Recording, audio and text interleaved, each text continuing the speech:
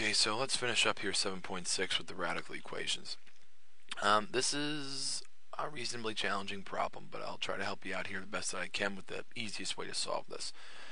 We have two radicals on this side. Uh, whenever you got two radicals on the same side of an equation you're trying to solve, it's probably best to split them up.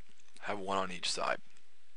So what I'm going to do is I'm going to add, because this is minus, I'm going to add 2 root x onto the other side. By doing this, I now have a root on this side and a root on that side. Okay. Since this is the square root over here, I can get rid of that square root, right? And I just rewrote those as a half. That's all that I did here, right? Remember, square root is the same as the 1 half power. Um, because it's the square root, I'm going to square it to get rid of it on both sides, which means I'm going to square both sides.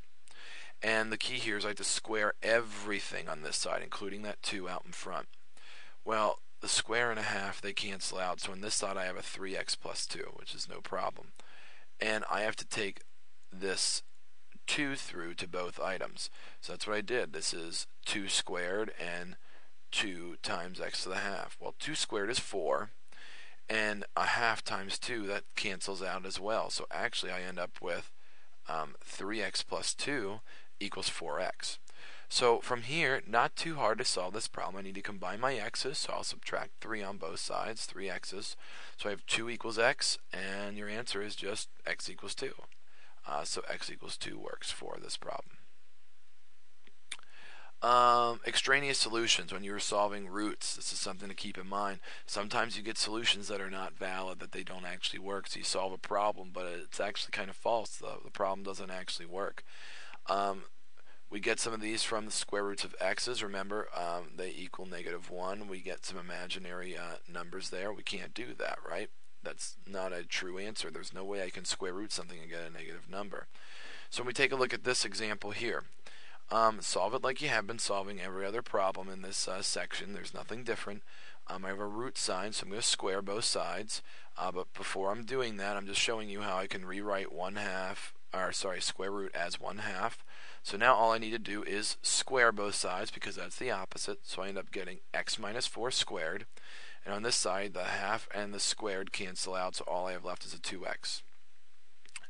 x minus 4 squared is the same as me saying x minus 4 times x minus 4, um, and all that equals 2. So I need to uh, FOIL this. I need to take x times x and get x squared, x times negative 4 and get negative 4x, Negative 4 times x, again negative 4x, and negative 4 times negative 4 is positive 16, and bring down that negative 2x.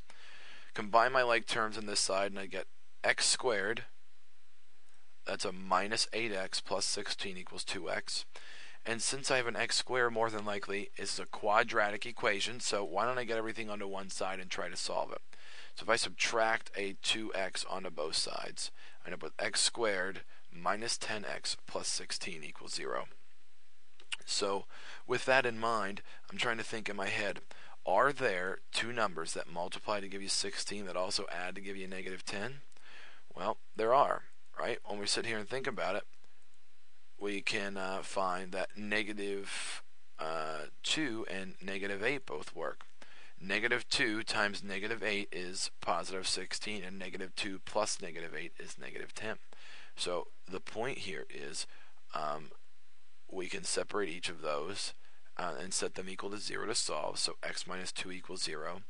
And basically 2 is an answer, and we get 8 as an answer when we separate them, which is no problem, right? Separate both those. We solve them, you know, still no problem, no big deal.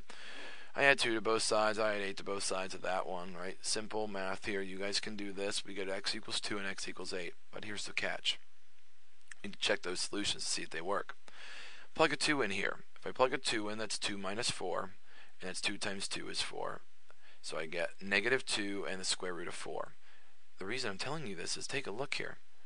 The square root of 4, uh, you get 2. Uh, so the problem is when you square root of 4, it equals a positive 2 as well, and I don't have a positive 2 over here. I only have a negative 2. The point is there's an answer that's not right. I can't square root that and get a negative 2 as my answer. So the point I'm getting at is uh, it's not positive like it's supposed to be. The 8, however, when I check that, That's a 16, that's a 4. The square root of 16 is 4, so that actually works. So really the only answer to this problem is 8. Even though a 2 shows up, the 2 doesn't work. So sometimes with these root problems, you need to check your answer and make sure that they do actually work. So there's your homework. So take a look at that tonight, and if you have any questions, this is the last section, so that means the test is coming up very shortly. So uh, take a look. If you have any questions or concerns, please let me know.